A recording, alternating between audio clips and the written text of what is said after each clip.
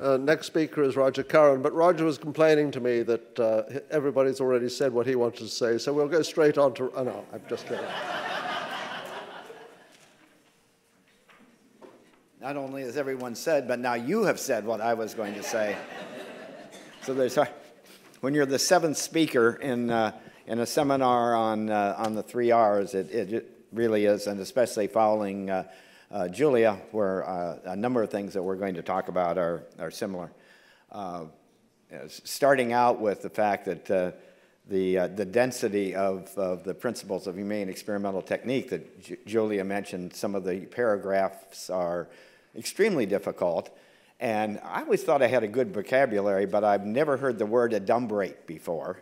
Uh, and I found adumbrate for the first time in, uh, in the three, in in Bill Russell's uh, book. So let me come to my place.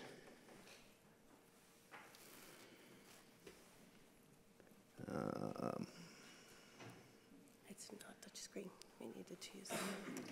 Oh.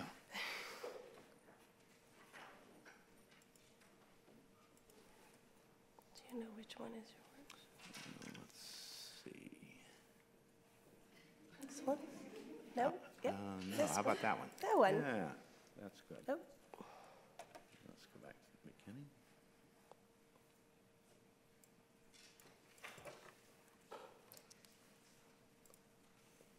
Ta-ta. Great, thank you. So I'm trying to take us on a little trip through uh, the first part of 3R's activities.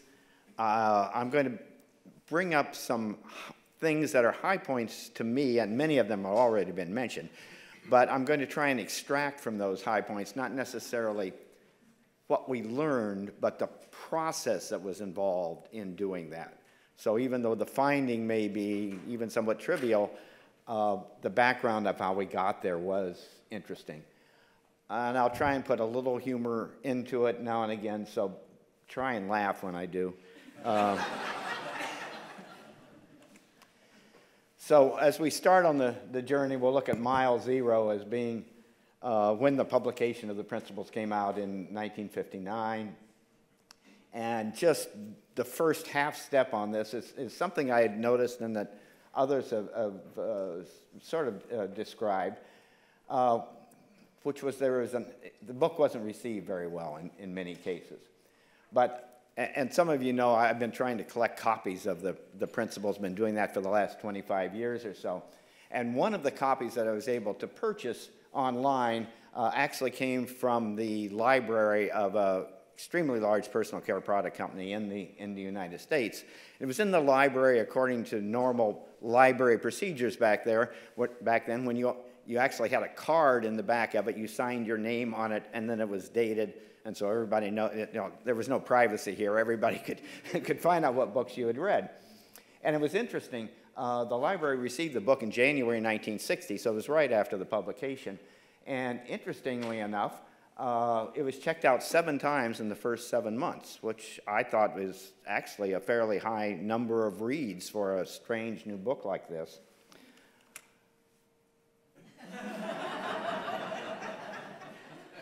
now, why, I've speculated many times that the first people will read it and say, oh, this is so great, we're going to tell everybody else about it, and then they don't have to read it.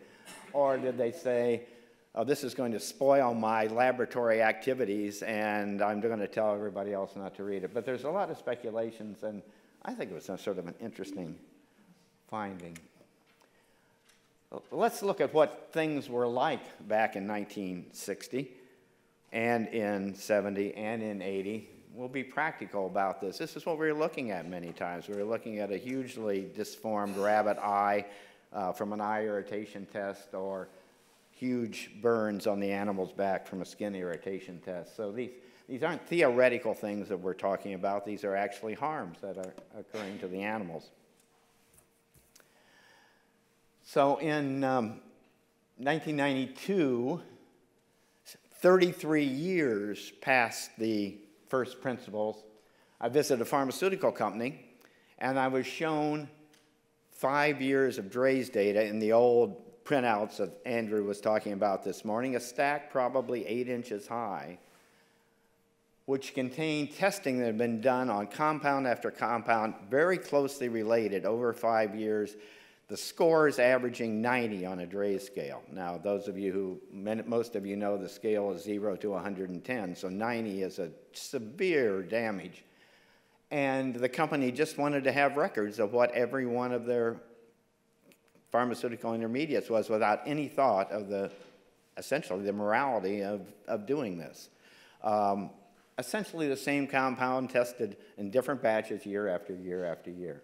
But at least now we have made some progress, and in 2019, at least for non-animal OECD test guidelines uh, for most portions of the eye irritation spectrum and several others. So the replacement R has begun to arrive. And of course, this, I said strange, but this is really interesting bedfellows. And again, it goes back to something Julia was just saying, and we'll look at this more as we go through the presentation. The people working together um, make interesting bedfellows. What's my first point, or second point maybe on the milestone, was uh, the famous study by Weil and Scala about eye irritation and, and wondering what this test actually showed us. On the famous, infamous Table 12 of Weil and Scala, showed what happened when you gave, what is it, uh, nine, I think, nine different chemicals to 24 different laboratories and asked them to perform eye irritation testing on it.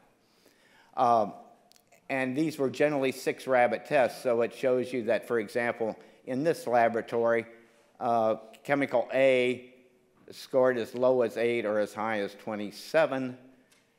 In this laboratory, G, one rabbit was 8, another was completely at the top of the scale. So if one looks at testing chemical A in 24 laboratories, one rabbit could have been 0, another would have been 100. Chemical G, 0 to 110. The complete range of irritancies were showing up in, this, in these laboratories. So this, this was one of the first areas where we needed to, the concept of understanding the validity, and here I mean validity and knowing all kinds of concepts about it, of any assay that we were trying to replace before we replace it. And this led on to some more sophisticated studies later on. Leon Bruner, Mark Chamberlain, and myself doing, or Leon for the most part, doing the modeling of what things like the Draize test look like in the middle areas. And we've come to know what we have. So maybe we shouldn't try and replace these tests at all. Maybe, we, as has often been said, maybe we should just ask the question, we're worried about human eye irritation. What things do we need to know to figure out what might be human eye irritants? And then, as Alan was showing earlier, we have a, a, fairly major thing happening in 1980 with Henry Spira and the advertisement in the New York full page ad in the New York Times leading to extensive funding from the cosmetics industry and then establishment of the Rockefellers, CAAT, and so forth. Why is this important to me? One person can make a difference. This wasn't a whole organization, many people putting this. This is one guy who wanted to do something and wanted to have his voice heard. Could be a woman who wanted to have her voice heard, could be just people. And we can make a difference if we yell loud enough. The, one of the next significant things was uh, the beginning of CAAT workshops that were going on here. Uh, and I have to admit, um, although the talks were good, the, I didn't pay that much attention to the speakers. When you went to the poster sessions, this was one of the first times that you could actually have good scientific arguments, discussions at the posters with people. And I thought that was by far the most valuable activities here. And I think most people who were there, it, it broadened the field of people who were, who were looking at it. And now, of course, this is broadened out into the World Congresses. Uh, we're in the 11th incarnation of this. And the points that I want to make here is that this going to the World Congresses uh, brought the concept of international activities as important. And this is always should be kept in mind. Trade is international. Well, some political pundits may not think that, but we'll say it is. And manufacturers may actually reject using non-animal methods if any one of their customers, customers being foreign countries, have a requirement for animal testing. Why do an in vitro test when you know you're going to have to do the animal tests for company or for country C? Uh, you can just do that animal test and then give the results to everybody else. So it's, we have to be changing the world as we go in a practical method as we go forward. One of my next um, markers on the milestone uh, was the formation of ATLA. We've had several, or of FRAME and ATLA.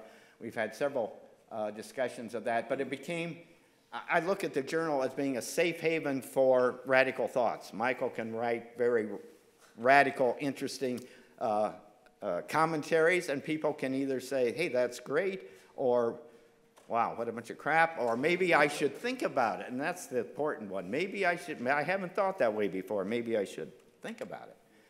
So I think the finding here is that we need to maintain and encourage scientific societies and forums, or fora, where constructive criticism can move the best science forward. And that's actually happened in Europe for quite a while. Uh, here, I'd like to think of Kristie and, and Erin forming the American Society for uh, Cellular and Computational Toxicology as being a, a big point. We finally have a society here in the U.S., and we need to continue to do these things. ECVAM was formed in 1993, and uh, maybe we're up to mile 0.08 at this point. Uh, the,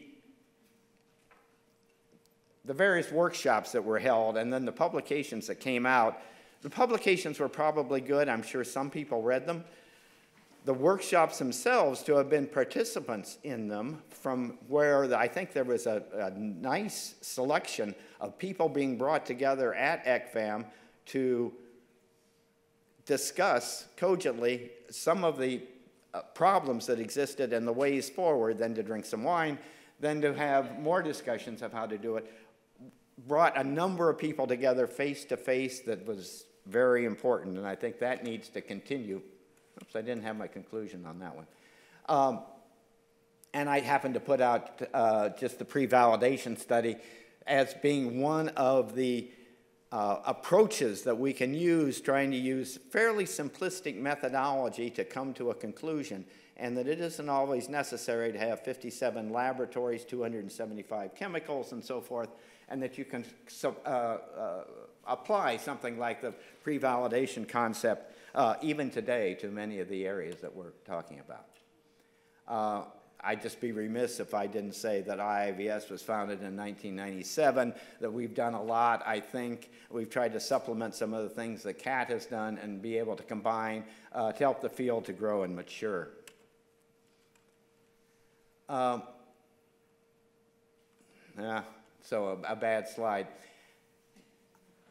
IRAG, uh, which many people have forgotten right now, was, a, was an activity uh, by the regulatory community to try and put together, to say almost prove to us that alternative methods or replacement methods really have some validity. And that was going to require that they ask industry to come forward with data on animals, data on in vitro subjects that had been previously extremely tightly held confidential within the, and most of the companies started out saying, why would I put my data out in the public field? Why would I, uh, why would I share it with a regulatory agency? So we were able to, to, to put boundaries around this, to code a lot of the majority of industry data, and to use them in a combination to actually look in the detail about how the assays were working. Now, the fact that industry finally got the trust to do this is the important point and was one of the first indications of industry, government working together to uh, come forward uh, with uh, an activity that actually moved the field forward. That was industry and government. One of the first really positive activities for working with animal welfare in a very constructive way uh, happened in 1998. A number of companies were uh, using for eye irritation uh, methodology the bovine cornea method, which involves excising a, a using a, a cornea from a um, uh, cattle that were being uh, used in slaughter for, for food production.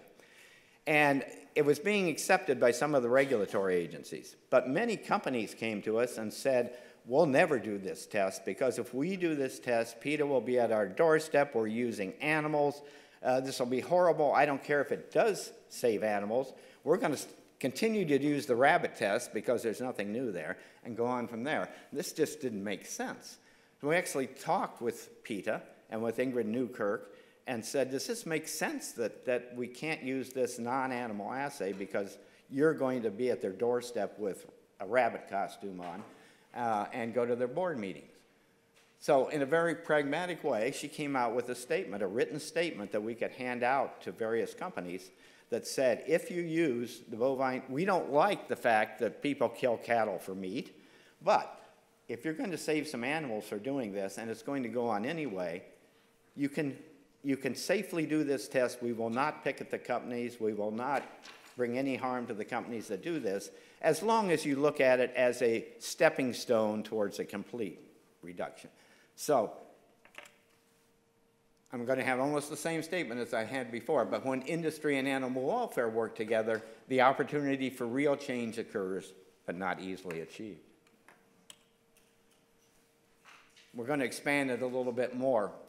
Uh, several years ago, uh, there, there's sort of an interesting um, phenomenon about, about the regulations of EPA. Uh, if you have many household products, uh, if it's just a regular household product, a cleaning product, you really don't have to uh, provide data to anyone about uh, the, the safety of this product. And people have been in, products like this have been in use for years. The Windex that you spray on your windows, of the, the uh, cleaner that you use on your, your tabletop have been in safe use for many years without a required animal testing. And most of the companies who make these products do it with, do the testing with in vitro methods. But if you make this little claim, and this has become very sort of important lately, that the product is antimicrobial, then the product becomes a pesticide under the regulations. So you don't have a nice cleaning product, you have a, you know, a full-blown dangerous material uh, that has to have the six-pack assay uh, from the EPA before it gets registered. This was brought up by animal welfare at one of the uh, science advisory meetings for the EPA. They said, can't we do something about this because we know these products are generally safe? Uh, industry said, yeah, that's a good idea for us. We don't really want to do it. Uh, and the government said, you know, what the heck? We don't really want to do this to things for Windex just because it says antimicrobial on it.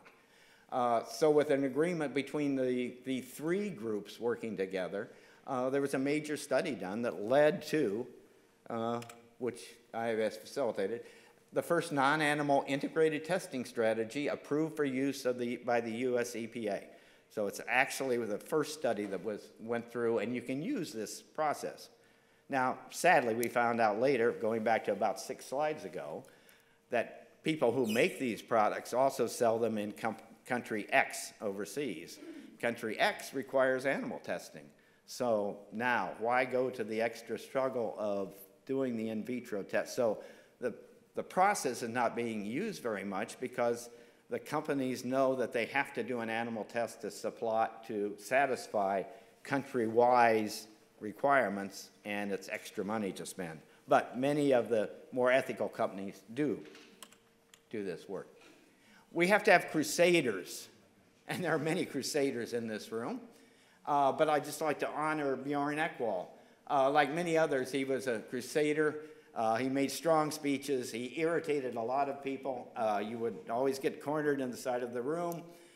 Uh, he continually stirred the pot, is a phrase that we often use. In 1999, he visited us at IIVS and, and brought a six pack of uh, Aquavit from Sweden. And he said, when we were, you know, when we finally get rid of the acute systemic toxicity test with an in vitro test, I'll come back and we'll, we'll drink this stuff uh, together. Well, sadly, he died the, the next year. Um, but I still have, uh, there's a lot of dust on it right now, but I still have the container. And just to a, um, a warning here. I guess I'm, I'm starting something a little bit early, but I have something that's going to be supplied to something that Thomas will talk about in a, in a few minutes. I'm glad to donate this to a time capsule that will come out and that we can have it someday. So we need, we need crusaders. Um, actually, spies are helpful too. So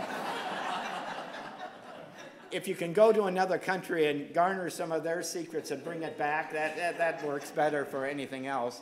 Uh, for those of you who don't, I can't, I can't reveal the person's name. Initials MS, but I.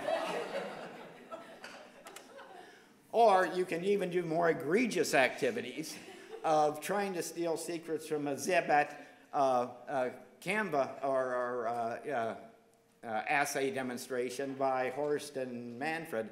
Uh, so trying to find out from the back row what's actually going on. Dirty tricks are all right. ECVAM uh, and now CAAT under Thomas's reign uh, is another high point for instituting retrospective review. And this was a um, sort of using many of the concepts of, um, of, of uh, uh, evidence-based medicine and evidence-based toxicology to look at past information from uh, assay systems and being able to uh, quantify this and bring it together to, in a way that can actually uh, be helpful. And this actually led to um, a test which was uh, on the cover of Science in 1989, uh, by 2009 being actually uh, suggested by ECVAM as a, as a useful assay for acute systemic uh, uh, toxicity.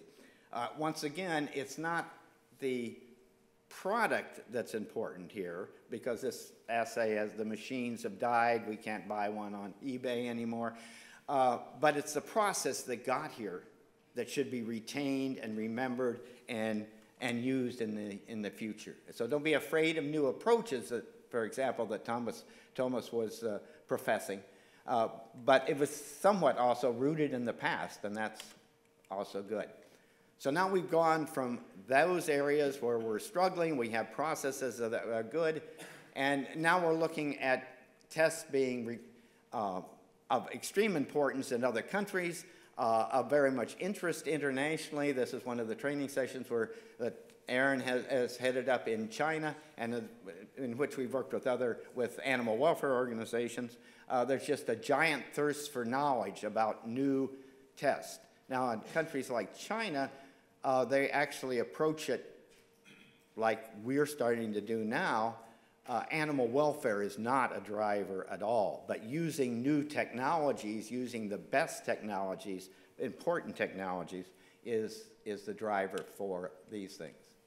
So I'd like to give a short admonition to paraphrase Ruth Bader Ginsburg's rebuttal to when the Supreme Court was discussing dropping certain pre-clearances that were required of various states before they to do voting registration uh, and then I've paraphrased it a bit here, throwing out previous learnings to make the bumpy road to replacement a thoroughfare. And now, as Ginsburg said, is like throwing away your umbrella in a rainstorm because you're not getting wet. Well, yes, of course it's protecting you. You're not getting wet. Don't throw the umbrella away because you will get wet. All right, so let's not throw away all of our learnings from past studies uh, just because we haven't had a problem so far. So to conclude, I'd just like to go back to this next slide again, which Julia brought up several times. It's the working of industry, various organizations, regulators, animal welfare, as a group together, a lot of progress can be made and can continue. Thank you.